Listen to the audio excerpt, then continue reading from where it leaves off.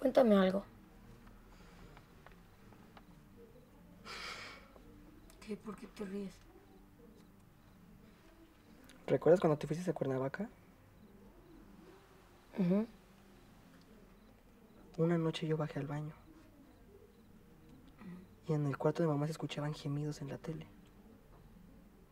Y yo vi cómo mamá se sobaba entre las piernas por debajo de las sábanas.